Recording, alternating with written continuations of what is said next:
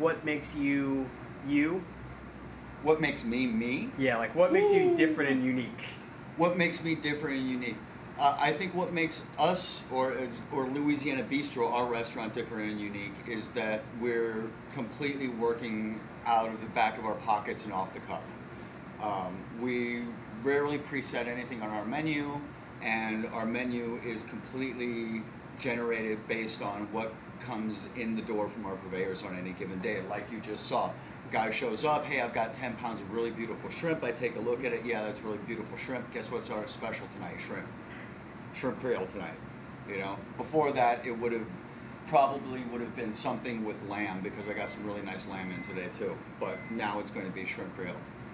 So we're a completely um, ingredients-driven restaurant, which is something that a lot of restaurants claim. But if you go in and you look at the menu, and then you look at the menu a week from now, and then you look at the menu a week after that, it's the same damn menu. So they're ingredient driven as far as like local ingredients and what's available. Ours is driven day by day by what comes in the door and what's cool and fresh. What or who would you say inspires you? the people around me in the French Quarter. I mean, this is the New Orleans French Quarter. It's a freak show every time you look around. Mm-hmm. And that's one of the things I like about it because I'm a voyeur. Not a voyeur in the sexual sense and hey, I want to watch people getting it on and kind of stuff.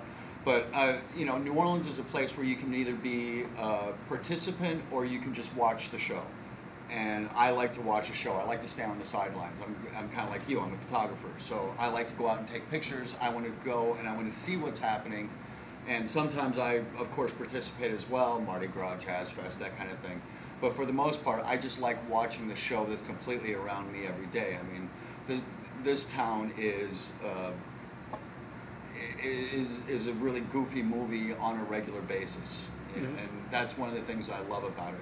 There's nothing that's regular in this town. There's nothing that happens on that's just normal, in the sense that every in the rest of the world, day by day by day, it, it can be the same thing, the same thing, and a lot of people like it that way. I don't. I like the variety. I like that no matter you know it, what happens, I can turn around and I can see something completely different on a regular basis. Okay, okay. The abnormal is the normal here, and that's what I like about New Orleans. One of my favorite old school New Orleans musicians is a guy by the name of Danny Barker, Mm-hmm. who is relatively unknown outside of New Orleans, but around New Orleans he's greatly revered. He played with all of the greats. He was a musician who played with everybody. And he himself only, as far as I know, produced two recordings, two, one album and one CD later, right before he died and it was of new, traditional New Orleans music, but it has such a cool and interesting take on it. But when you listen to Daniel Barker speak, you better have two hours to go, because there would be a, an awful lot to say. But it would, he had that kind of like slow New Orleans. Well, you know, in New Orleans there are day people and there are night people.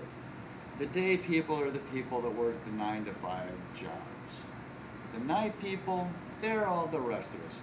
There are those of us who go to work at 5 p.m., who work in the clubs, who work in the restaurants, who work in the bands that play out on the street. Day people expect to be ripped off by night people. You have to tip the bartender, you have to tip the bellhop, you have to, and that's the way the economy works. The, the day people go out and make the real money, and then they hand their money off to the night people.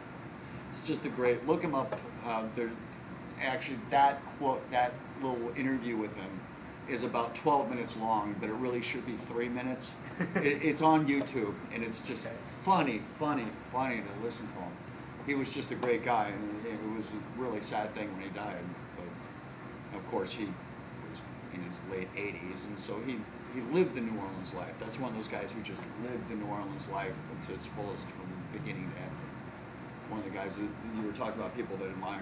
He, he's one of the people that I admire. Is there anything you have to say like specifically about New Orleans? Any other than like the goofiness and Come join us. It's fun. okay. I mean, that, um, New Orleans. I mean, New Orleans is such a unique blend, not only within the United States, but I think in the world, as far as different cultures, different types of people. I mean, I'm an immigrant myself. I'm not a native New Orleanian, but at the same time, I've been here for almost 15 years now, and I'm kind of just starting to feel like I'm a New Orleanian. You know, according to the people who actually have been born and raised here and have been here for generations and generations, my grandkids will finally be considered New Orleanians. But I, I'm at this point considering myself, you know, at least a New Orleans resident, if not a New Orleanian. Would you say you have any special ties to New Orleans? Outside of loving the city, no. I mean, not special ties as in family or anything along those lines. I was born in Austria, raised in Illinois. Mm-hmm. Uh, I first came to the United States when I was a sophomore in college, or first came to New Orleans when I was a sophomore in college on kind of like a weekend uh, road trip with a bunch of friends. And ever, ever since then, that was in 1986, ever since then, every time I could string together two or three days off in a row, I would come to New Orleans. It's just a fun place to be. And it's a completely different place to be when you're a resident as, compared to when you're a visitor. And both of them have what you do today. happenstance and alcohol. I mean, I, I was a photojournalist for 10 years and I was always an avid home cook. And so when it came time for me to leave photojournalism, I kind of flipped flopped my career and turned my career into my hobby and my hobby into my career. And when I, after I graduated from culinary school, there was no place food wise, um, people wise, or living conditions wise where I wanted to be, uh, except for New Orleans. Um, New Orleans is as close as you can get to still being in the continental United States and feel like you're not in the continental United States. There's a great quote about New Orleans itself that I love, and that's that New Orleans may be the worst administered city in the United States, but it's the best administered city in the Caribbean. And I always love that quote because it really makes sense. It's it's almost like living in the Caribbean, but it's not really like living in the Caribbean. It's almost like living in France, but not really like living in France. It's almost like living in Spain, but not really like living in Spain. It's its own melding of all of those things together, and that's one of the things that really makes you New Orleans, New Orleans. But New Orleans is one of those cities where you can lay, you can kind of lean back and you can just kind of take it easy and still make a good living or you can run the rat race with everybody else like the rest of the country does and make a great living.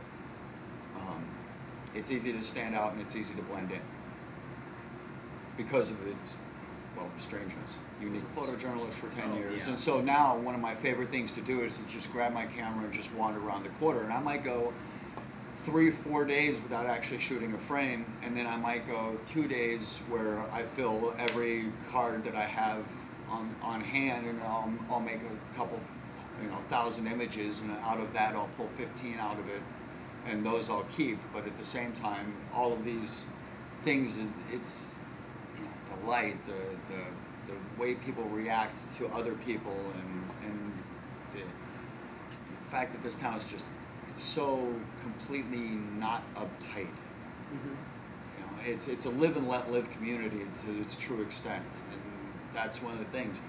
Um, you know, the people down the street get are you know having a complete blowout fest, and the people down over here are just kind of sitting on their stoop and watching the world go by, and that's New Orleans.